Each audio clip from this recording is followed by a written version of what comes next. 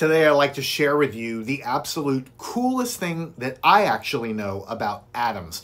And that is that in a nutshell, even when an electron is orbiting uh, around an atom, even a simple hydrogen atom, that electron has a non-zero probability of actually being all the way across the universe light years away. So that's the fact. Even when electrons are orbiting atoms or molecules, the way wave functions work and probabilities work is that there is a actual chance that the electron could be near the atom, but actually also could be 15 light years that way. Now, to wrap your brain around this, you have to forget about the idea that an electron is a ball orbiting like a solar system, because that is not what quantum theory says, and we know electrons definitely do not behave this way.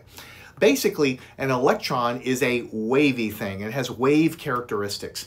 And the wave function that governs the electron really represents the probability of finding the electron when you measure it. But when you're not measuring it, it exists in a wave-like state that has these beautiful shapes uh, around the hydrogen atom. So these are the this is the hydrogen wave function, and these are basically different solutions of the Schrodinger equation in quantum mechanics, which give these guys. So back in algebra, you used to solve equations and get multiple solutions all the time, like for the quadratic formula. Well, in quantum mechanics, you can get multiple solutions which depend on what we call quantum numbers, and the different solutions have different beautiful shapes, almost like different graphs back in algebra. Now these different shapes govern the probability of finding the electron in different positions. If the electron is in this configuration, then it'll, it'll look like it's uh, closer to the nucleus, but it also can have these lobed configurations where the black areas are where the electron definitely is not, and the probability is higher in the brighter regions.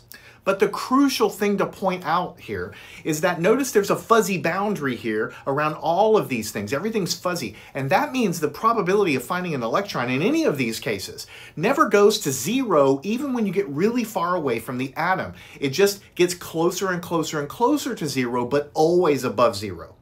Here is the wave function for an electron around a hydrogen atom. There's a constant here. The constant doesn't matter e to the minus r. That's all I want you to focus on now. When you square that wave function, that's what gives you the probability density, you end up with an e to the minus 2r there. That means as the radius, you get farther and farther away from the atom, the probability never gets to zero. It just gets infinitely close to zero. Learn anything at mathandscience.com.